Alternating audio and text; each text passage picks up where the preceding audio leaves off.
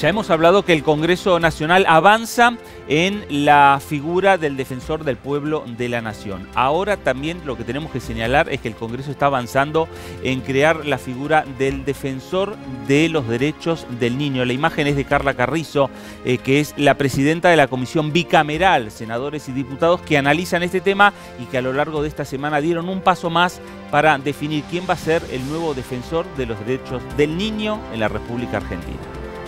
Trabajamos eh, con mucha coordinación y mucha empatía con todos los actores de la sociedad civil, así que fuimos como tirando mitos, esos mitos de que no las ONG están a veces confrontadas con la política. Bueno, acá no se dio, logramos trabajar todos juntos, dar un reglamento que genera confianza en el proceso de selección, eh, lograr un presupuesto, que ahora vamos a ver los números de la asignación para la institución, cuando designemos en 2018 y estamos muy orgullosos porque tenemos 70, más de 70 inscriptos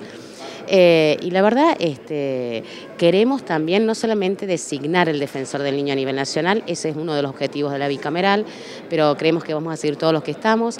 y la idea es nacionalizar esta figura de protección en 19 provincias donde faltan. Creemos que haber tenido 70 postulantes eh, significa la necesidad que había de la creación de esta figura, de esta figura legal que tiene muchos objetivos, pero para mí uno de los más importantes es eh, el cambio de paradigma de que los niños, las niñas y los adolescentes dejen de ser objeto para ser sujetos de derecho y esencialmente puedan ser escuchados. En un país que se escucha poco, nosotros vamos a crear el defensor del niñas, niñas y adolescentes para que, entre otras cosas, pueda escuchar